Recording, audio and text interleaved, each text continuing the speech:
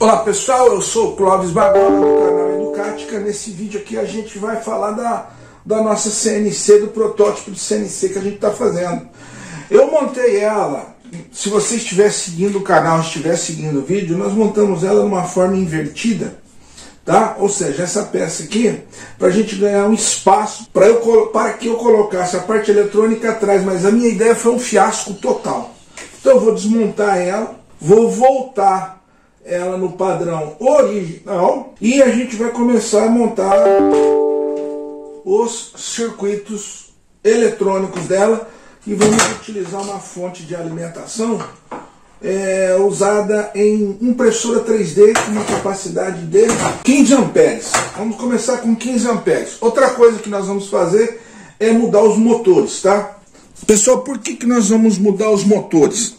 Aqui nós temos motores do Unema 23, esse daqui é para 18 quilos. E esses, 12 quilos. Não sei se esse é 16 ou 24 quilos. Não sei o torque, esqueci o torque. Mas em, o, o, que, o que vem ao caso é o que eu vou inverter. Vou passar esse motor para cá, esse motor para cá, e os dois motores de menor torque eu vou colocar no eixo Y. Vamos inverter esta peça ao contrário. Por quê? Porque eu realmente vou ter que colocar o controle dela aqui fora. Não vai ter jeito. Eu vou ter que fazer uma caixa externa, porque eu queria fazer acoplada nesse espaço. Mas além de eu perder a área útil, né, no eixo Y, eu vou eu não fica prático, não vai ficar prático por causa da tomada, então vou ter que realmente fazer aqui atrás. É isso que nós vamos fazer nesse vídeo. Vamos inverter toda a mecânica. Não teve jeito. Pessoal, terminamos a inversão.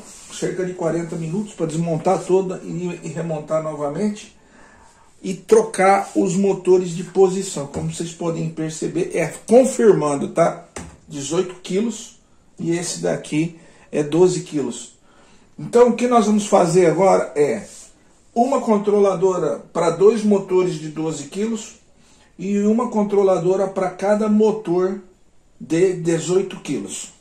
A fonte de alimentação que nós fizemos o cálculo vai funcionar.